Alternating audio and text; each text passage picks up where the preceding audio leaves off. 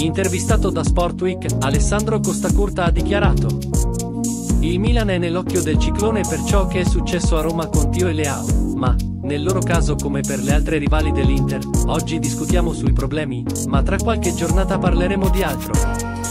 È bene che certi difetti risaltino all'inizio, alla prima, seconda o terza giornata, ma, tornando a Tio e Leao, è altrettanto necessario che società, allenatore e compagni facciano loro capire che cose come quella di non avvicinarsi all'allenatore durante il cooling break non devono più succedere.